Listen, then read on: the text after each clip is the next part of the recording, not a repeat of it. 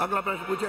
माननीय अध्यक्ष जी प्रश्न संख्या 227 माननीय मंत्री जी माननीय मंत्री जी।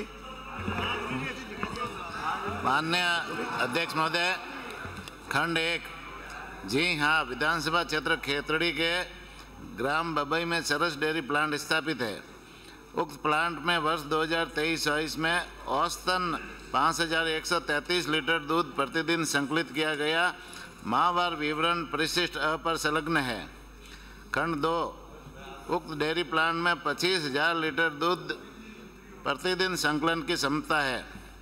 जी नहीं उक्त डेयरी प्लांट में दूध संकलन की क्षमता के अनुरूप दूध संकलन के लिए नहीं आता क्योंकि बबई नीमका थाना क्षेत्र में जो बीएमसी स्थापित है उन बीएमसी समितियों पर संकलित लगभग 8000 लीटर दूध चरस डेयरी प्लांट पलसाना में सीधा संकलन हो रहा है।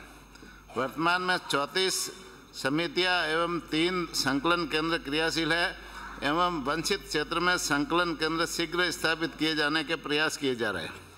माननीय अध्यक्ष जी, मैं पूरक प्रश्न संख्या एक, विधानसभा क्षेत्र खेतड़ी में स्थापित डेयरी प्लांट, उसमें प्रोसेसिंग यूनिट स्थापित है, अध्यक्ष जी।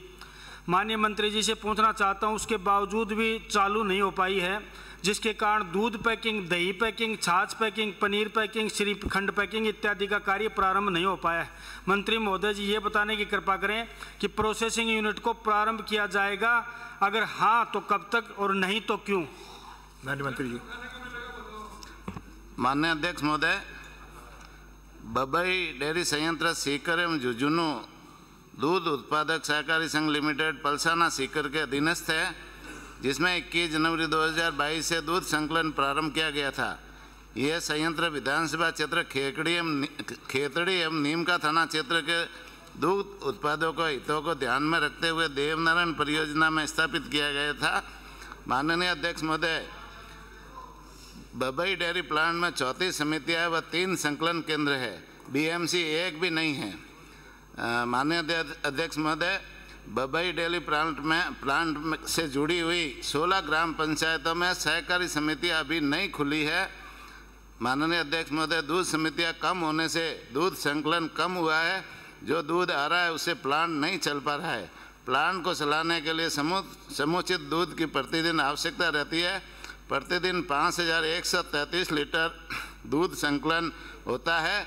जबकि प्लांट की क्षमता पच्चीस हज़ार लीटर है।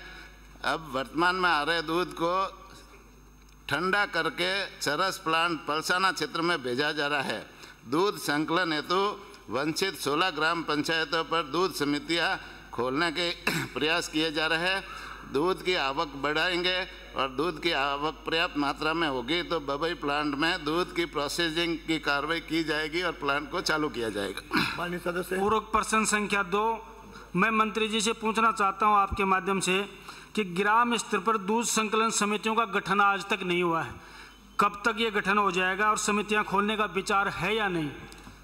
माननीय अध्यक्ष महोदय, अभी बजट 2024-25 में माननीय मुख्यमंत्री जी ने 1500 नई सहकारी समितियाँ खोलने का, की घोषणा की है और इसी के तहत जो बबई क्षेत्र में 16 ग्राम पंचायतों में समितियाँ नहीं है।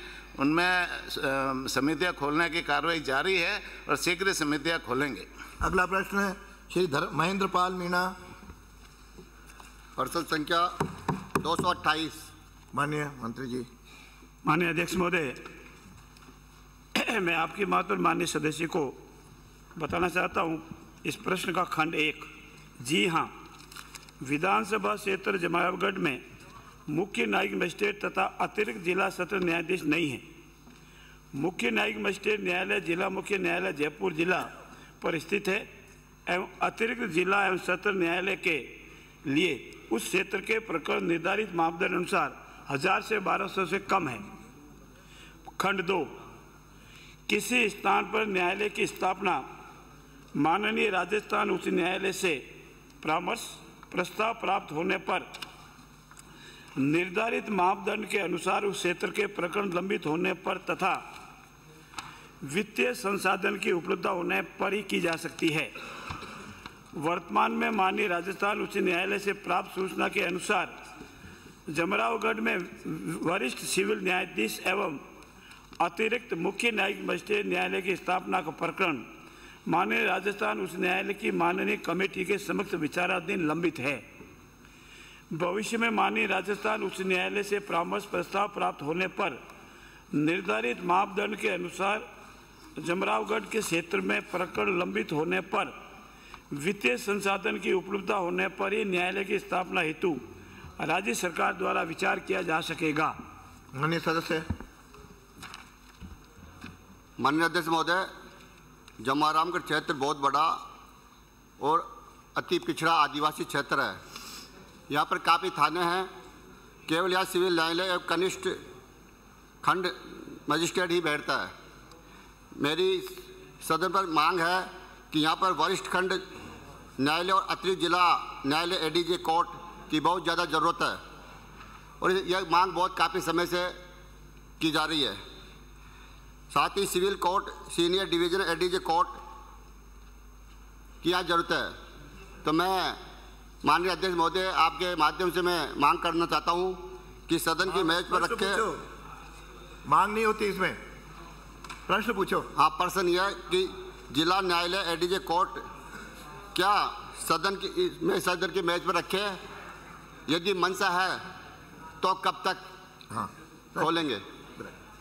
माननीय मंत्री जी। माननीय अध्यक्ष महोदय, माननीय सदस्य की मांग वाजिब है। इनके यहाँ अभी एक सिविल कोर्ट है और इनकी मांग ये है कि एक एडिशनल सिविल कोर्ट और एक एडिशनल डिस्ट्रिक्ट और सेशन जज खोला जाए परंतु जैसा मैंने अभी आपसे निवेदन किया, जो माननीय राजस्थान उच्च न्यायालय द्वारा सरकार द्वारा निर्धारित मापदंड है, उस निर्धारित मापदंड के अनुसार प्रकरण विचाराधीन नहीं है। इनके यहाँ, इनके क्षेत्र से, सिविल केसेस सिर्फ़ 401 और क्रिमिनल केसेस 102 कुल 503 केसेज ही है। और इन केसेस की नियरेस्ट जयपुर स्थित जिला न्यायालय में एडिशनल सेशन कोर्ट में सुनवाई हो रही है। फिर भी आपका जो प्रस्ताव है कि हमारे यहाँ एडिशनल सेशेज खोला जावे और एडिशनल मजिस्ट्रेट का कोर्ट खोला जावे, चूँकि मामला माननीय राजस्थान उस न्यायालय की कमेटी के सामने विचाराधीन है वहाँ से जैसा भी प्रस्ताव प्राप्त होगा उस पर विचार कर आपका यहाँ कोर्ट खोलने की प्रक्रिया को भी अपनाई जाएगी और गंभीरता पर इस पर विचार कर कोई न कोई न्यायोचित निर्णय लिया जाएगा। अगला प्रश्न है भेराराम पूरक प्रश्न टू। माननीय मंत्री जी। मान जो प्रश्न संख्या दो सौ उनतीस। माननीय अध्यक्ष महोदय विभाग द्वारा क्रियान क्रियान्वित, प्रधानमंत्री कृषि सिंचाई कृषि सिंचाई योजना, जल ग्रहण विकास घटक योजना के अंतर्गत अनुदान का कोई प्रावधान नहीं है। कृषि विभाग के अधीन पूर्व में संचालित प्रधानमंत्री कृषि सिंचाई योजना, जो कि वर्तमान में राष्ट्रीय कृषि विकास योजना के तहत पर ड्रॉप, मोर ड्रॉप के रूप में संचालित है। के तहत विगत तीन वर्षों में जोधपुर ज़िले में कुल पंद्रह आवेदन प्राप्त हुए।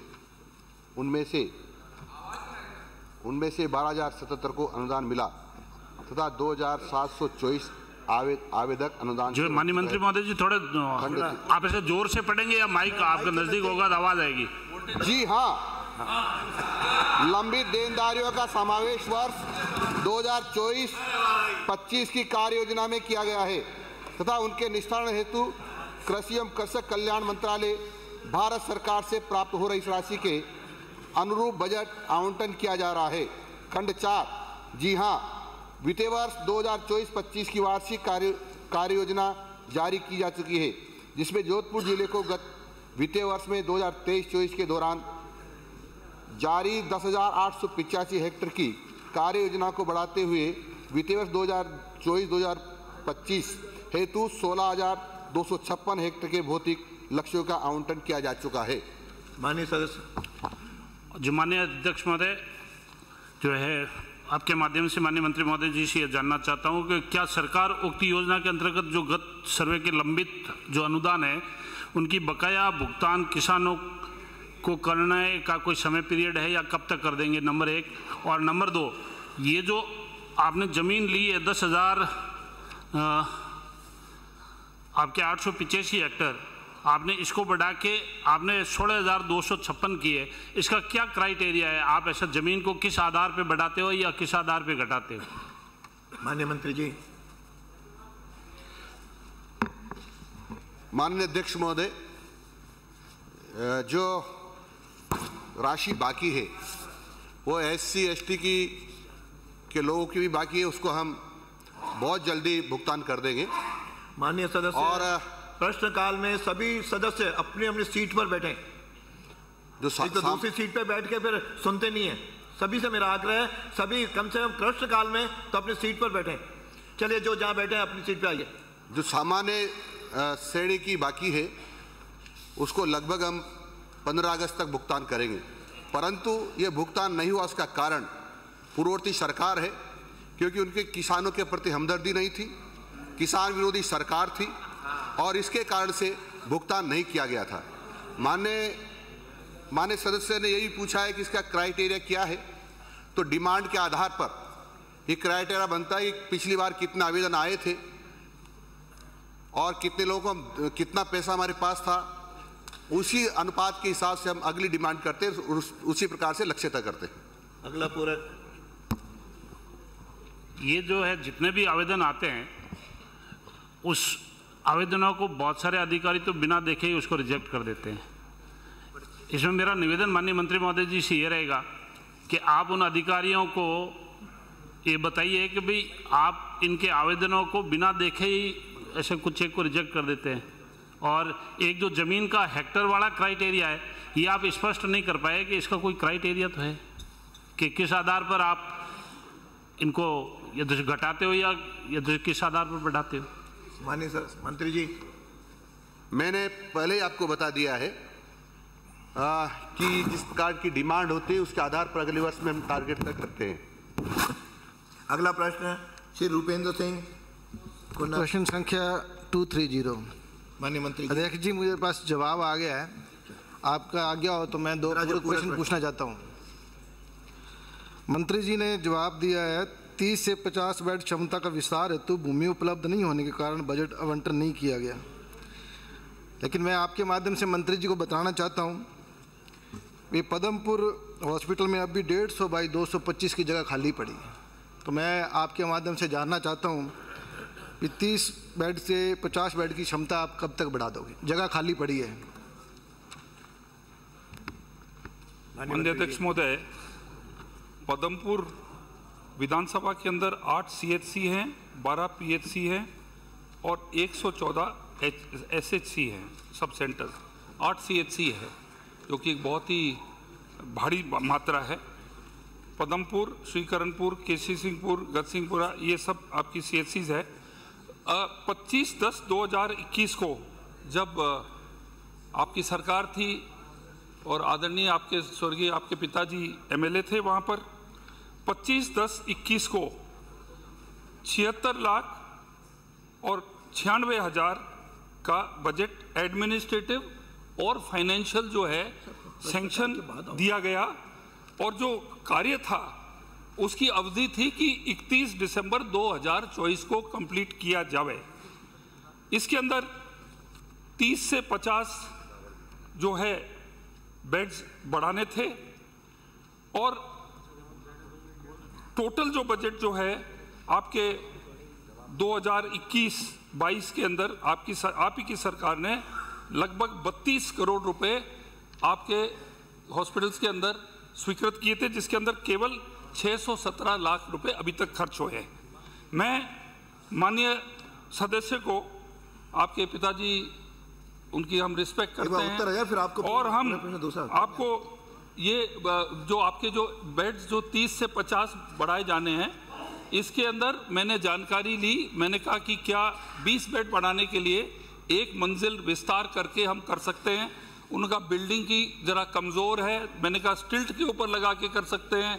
उन्होंने कहा, नहीं, वो भी संभव नहीं है। तो वहाँ पर कुछ क्वार्टर्स वगैरह जो कुछ है फालतू में पड़े हुए उनको डिसमेंटल करके हम आपका 30 से 50 बेड्स का कार्य हम शीघ्र चालू करेंगे। और हम इनको कंप्लीट करेंगे। मेरा दूसरा पूरक प्रश्न है, सर। मेरी विधानसभा के ब्लॉक करणपुर में टाइफाइड, वायरल और बुखार से काफ़ी बीमारी फैल चुकी है, जिससे दो व्यक्तियों की मौत भी हो चुकी है। तो वहाँ दस पद स्वीकृत है और डॉक्टर सिर्फ़ तीन है। यही हाल पदमपुर में। तो मैं आपके मन, आपके माध्यम से मंत्री जी से पूछना चाहता हूँ ये पद कब तक भर दिए जाएँगे? पदमपुर और करणपुर में। माननीय मंत्री जी। माननीय अध्यक्ष महोदय, ये प्रश्न इन्होंने जो पूछा उसके दायरे में नहीं है, लेकिन आपको ये आश्वासन देना चाहता हूँ कि हम हम जो पचास हज़ार जो हम पद नवंबर तक लेंगे, और एज अ मिनिस्टर मेरा सबसे भारी इस विभाग के अंदर अगर फोकस रहेगा, वो रहेगा चाहे विपक्ष हो चाहे हमारे हमारे एम एल हैं कि मेरा सबसे भारी चैलेंज और मेरी सबसे भारी जो मेरी टास्क रहेगी वो कि राजस्थान के हॉस्पिटल्स के अंदर रिक्त पद नहीं रहे इसको शीघ्र करेंगे।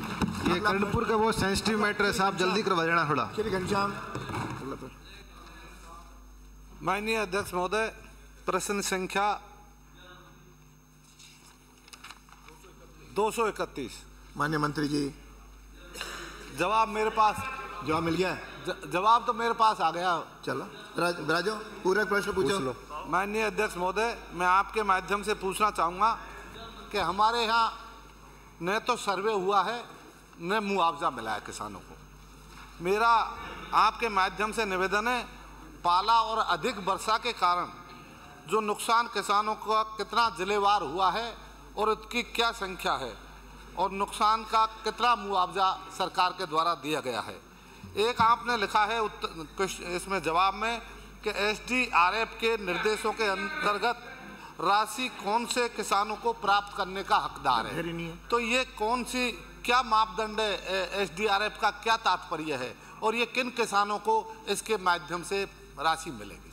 मेरा मंत्री जी से पूछना। माननीय अध्यक्ष महोदय माननीय सदस्य ने पूछा है कि एस एस डी आर के अंदर हमें आपदा प्रबंधन सहायता नागरिक सुरक्षा के ओलावृष्टि के भारत सरकार से अलग से बारह ऐसे जो सेंट्रल गवर्नमेंट के हैं, नियम, उसके अनुसार हमें राशि वितरित की जाती है। उसमें आज दिन तक पाँच वर्षों में भारत सरकार से दस हज़ार तीन सौ चौदह करोड़ चुम्बालीस लाख रुपए राज्य सरकार को प्राप्त हुए। 2020, 21, 22, 23, 24 तक। तो हमने ओलावृष्टि से प्रभावित किसानों को वितरित की गई कृषि आदान प्रदान राशि जिलेवार आपको सूची दी गई है। और फ़सल फ़सल खराबा होने पर कृषि आदान अनुदान सहायता राशि का भुगतान भूमि की गुणवत्ता के आधार पर नहीं किया जाता। अधिकृत प्राकृतिक आपदाओं से काश्तकारों द्वारा बोई गई फ़सलों में गिरदावरी रिपोर्ट 33 परसेंट जो खराबा होता है उसके आधार पर की जाती है। और इससे अधिक अगर फ़सल खराबा होने पर भारत सरकार द्वारा S D R F norms के प्रावधान अनुसार प्रभावित किसानों को कृषि आदान अनुसार भुगतान किया जाता है परिस्थित ब पर संलग्न है। माननीय सदस्य। मेरा अध्यक्ष महोदय आपके माध्यम से मंत्री जी से निवेदन है क्या सरकार इस प्रकार के नुकसान और मुआवजे को बढ़ाने का इरादा रखती है? और पाला और जो वर्षा से किसानों को नुकसान होता है क्या उनके भी कोई मापदंड है? उनको भी नुकसान का मुआवजा दिया जा सकता है? उसके अभी खुलासा करें जबकि बरसात से और पाले से ओड़े से भी ज़्यादा नुकसान किसानों को होता है। माननीय मंत्री जी।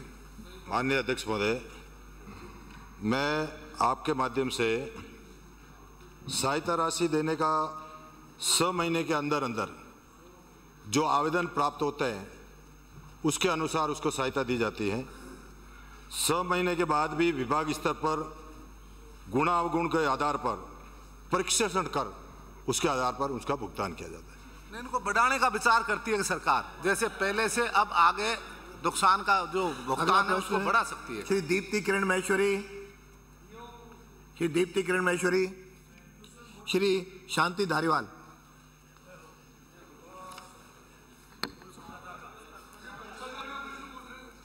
प्रश्न संख्या 233 ये इनका अधिकार ब्राजो, आप नहीं बोलेंगे। मान्य मंत्री जी।